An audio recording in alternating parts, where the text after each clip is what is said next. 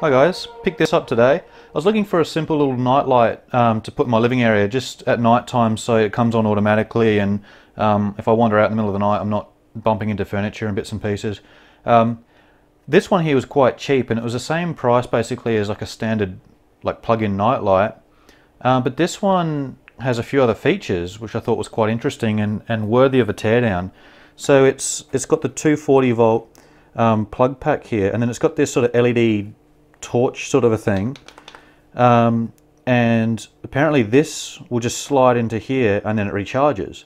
So it sort of serves three functions. You've got like the standard night light, which is when this thing's plugged in and, and in the charging slot and it automatically turns on from a light sensor when it gets dark. Uh, then if the power goes out, it'll automatically turn on to torch mode. So it'll start, um, you know, illuminating. Um, but also if you take it out of its cradle, you can walk around with it and use it like a torch with this push button and it's got a few different modes. I thought it might be interesting also to see how the charging circuitry works. And it looks like if you look at this, it's got this loop. So I imagine there's a coil in there and another coil in the handle here. And it's doing wireless charging. Um, sort of like an inductive charging mode. Because uh, it does say it's got a lithium ion battery, 400 milliamp hours, not a hell of a lot um, eight LEDs in the torch and all these different modes and things uh, which we can look at in a bit.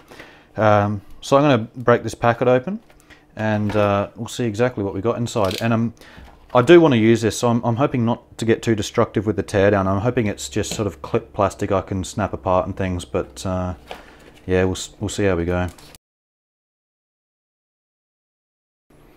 Alright, so that's it there. It's really quite lightweight. Um, what does that say? Crest brand, indoor use only, 240 volt, 1 watt, so barely any power going through that. And it wouldn't have to because that's going to be plugged in at all times pretty much, so it doesn't it doesn't need much of a charging current considering it's going to be basically 24-7 in the charging dock. So we got one screw here in the back and looks like a translucent bit of plastic so maybe there's a light night light comes out the bottom here um, but that looks good hopefully we just undo that and it's a couple of clips and it comes apart can see just standard sort of through hole LEDs there on the end like T5 size. Push button perhaps a light sensor there. Uh, yeah so we'll have a look at that in a sec. And this one hmm, there's probably a screw. I can't feel a screw under the label there but that's a little bit loose. So yeah, we'll have to have a bit of a closer look at that and see how we can unclip it or take it apart without breaking it. Okay, so I think I'm going to start with the torch section and uh, unscrew this.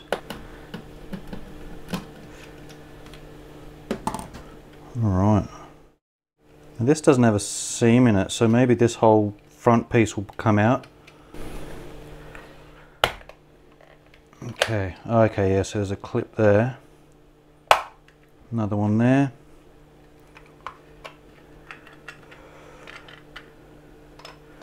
So there is an LED at the back there. There's our lithium cell. Now I'm not sure how this front is supposed to is supposed to come off. There we go. So that's the end come off. So there's a couple of bits of plastic there. There's the end cap. Hopefully. I'm actually scratching this and doing a little bit of damage. Well, I suppose it can't be helped at this point. This is a little plastic, a chromed plastic bezel there. There we go, okay. We can take that apart. So not a bad little design here. Get you in for close up so you can see there's a couple of ICs. There's a LiPo, so be some sort of charging circuit. There's the inductor there, the coil. So that's charging off of this.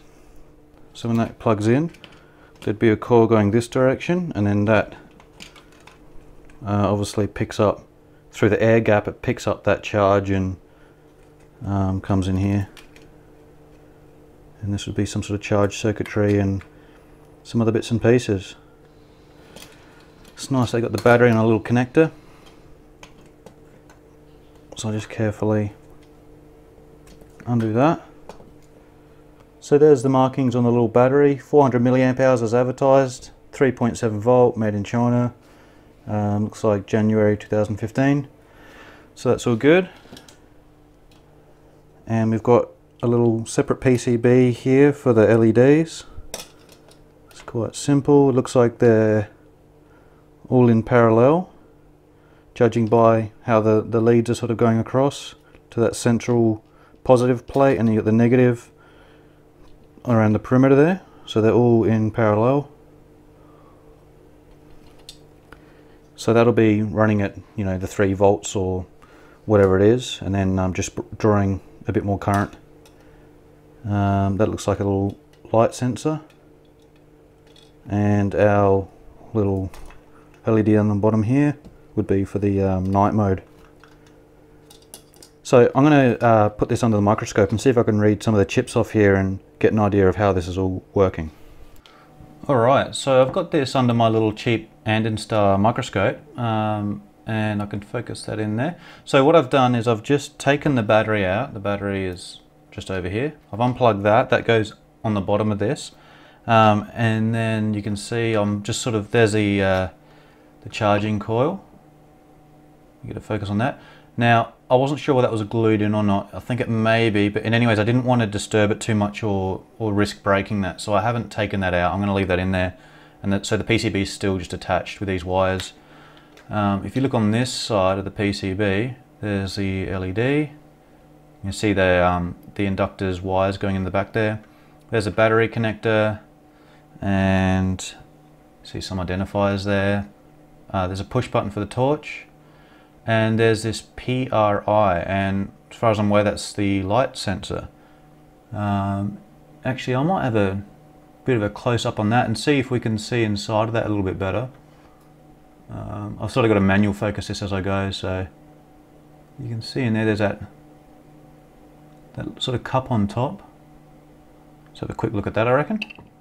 You can sort of see there's a bond wire going on top and maybe that's another wire connection in the corner there and then it's got these sort of traces or something or other going through there. So that's, there's an air bubble in there too in the resin. So that's what the uh, light sensor looks like up close. Uh, let's flip the board over and we'll have a look at these chips. So you see the charge coil coming in here and basically how this works is if you imagine like a traditional AC transformer where you're dropping say 240 volt mains down to 12 volts or something like this, you'd have your primary coil which is on the mains and your secondary coil with lesser windings and then that would be what this one is. Now I don't know if it's got more or less windings or whatever but we're going to call this a secondary coil. And basically over the air gap the um, primary coil is is uh, an AC there's an AC current going through that coil. And it generates an electromagnetic charge and the, and the mag magnetic charge goes over the air gap. This then picks it up and induces the, the electric charge back here on the PCB and you can see They've got a little negative sign there by the looks of it. Um, but you can see this, this ground plane here is shared with this LED and there's a positive, positive side of the LED. So we can pretty safely say that this is a negative side of the coil and this is the positive side. Or, I mean, it's it'll be AC fluctuating at some sort of frequency that I'm not, not aware what that is, but um, basically this is where it comes in here and then it gets filtered a little bit here through this capacitor. And you can see it's then rectified through D1 here. So any negative voltage coming off this coil is basically blocked by this diode. Any positive charge gets sent through. And then we've got resistors and capacitors and things. This is doing some more smoothing, some more filtering just to get that uh, that charge looking more like direct current instead of um, AC or alternating current. Um, and then it sort of goes into the rest of the circuitry here.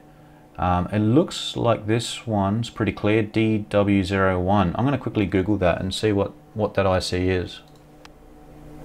So DW01 looks to be a lithium ion or lithium polymer battery cell protection IC.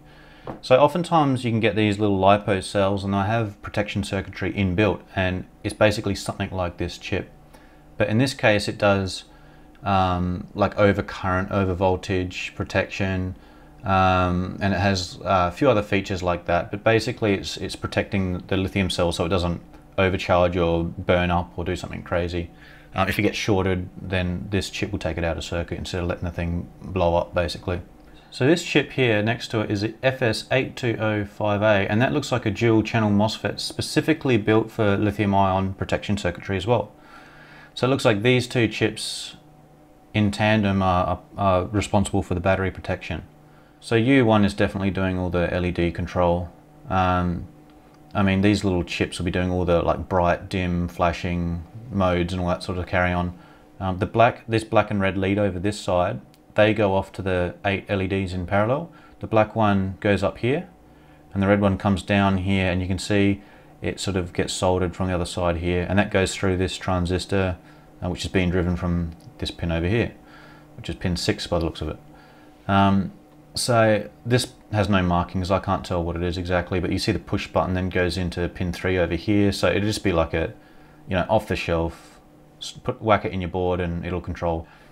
Just having a look at this inductive charging again. So we've got negative rail through here, positive rail gets rectified, filtered, so you got DC basically at this point.